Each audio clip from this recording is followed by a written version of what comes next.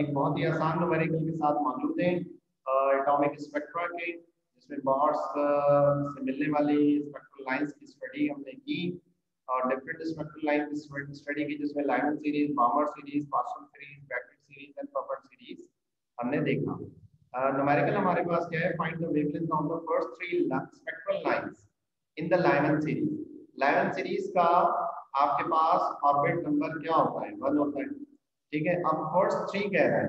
तो first three से मुराद क्या है कि आपके पास line number two line number three और लाइन नंबर फोर हो ये फ़र्स्ट थ्री कहलाएँगे।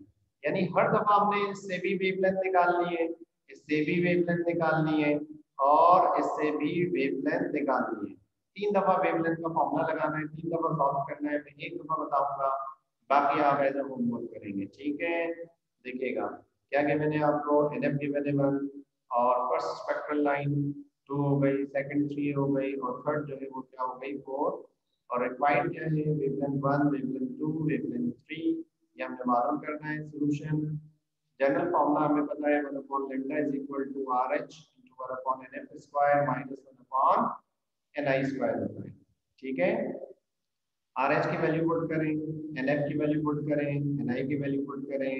ये हम सॉल्व कर रहे हैं और फ़र्स्ट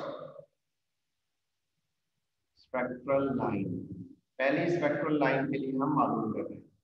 यानी एन की वैल्यू टू है। एन सॉरी एन आई की वैल्यू क्या है? आपके पास टू है। ठीक है?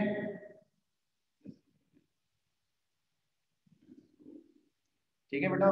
आगे जब आप सॉल्व करेंगे मजीद पूरी वैल्यू को तो ये आपके पास आंसर आएगा।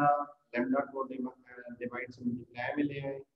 और 8.2275 एक्सपोनेंशियल को डिवाइड मिल जाए वन से डिवाइड करेंगे।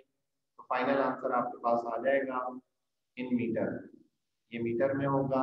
नैनोमीटर में कन्वर्ट अगर करना चाहते हैं फाइशनल में तो दो डेसिमल पॉइंट और शिफ्ट कर दे तो ये नैनोमीटर में कन्वर्ट हो जाएगा।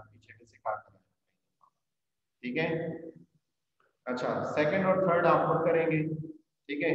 For second for N I is equal to three और ये किसके लिए है? For N I is equal to four तो उम्मीद है ये आप सॉल्व कर लेंगे।